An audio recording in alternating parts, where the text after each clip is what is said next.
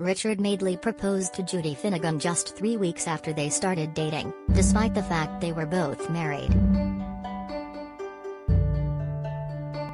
The TV legends got together after meeting while working for Granada Television in 1982. 3. TV legends Richard and Judy credit, Getty Images, Getty. 3. The couple pictured in 1990 when they hosted This Morning Credit, Rex. Both were in unhappy marriages, with Judy already a mum to six-year-old twins.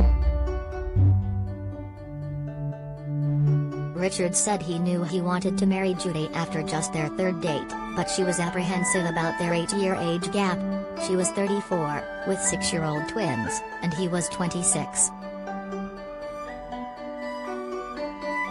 Judy told the White Wine Question Time podcast while alongside her husband of 36 years, there was absolutely no doubt in my mind that my boys, who were six, twins, they are, two six-year-old boys were my absolute priority and they had to be. And as Richard and I got closer, and it was clear that we, you kind of talked about marriage after about three weeks, didn't you? I remember. It was clear things were very, very serious. Sparks flew instantly. Richard had a crush on Judy after seeing her on TV before their first introduction, and she thought he was particularly handsome.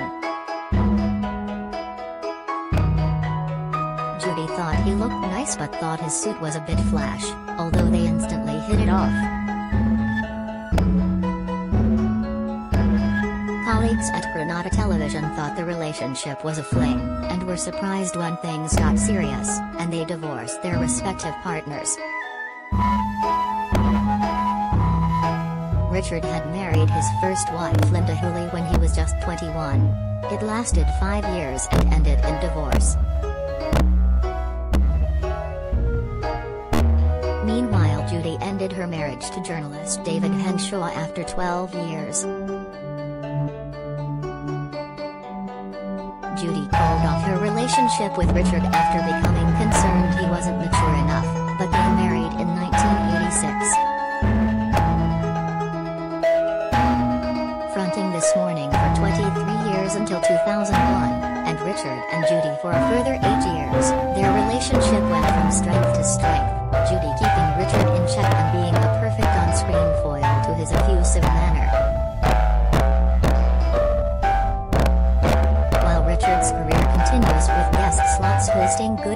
Britain, Judy's happily retired from a life on screen and is thrilled for her husband to have his time in the spotlight once more.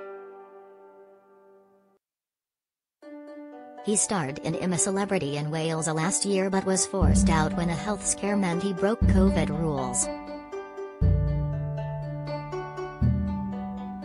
3. Judy quit TV but Richard fronts Good Morning Britain most weeks credit, Rex features,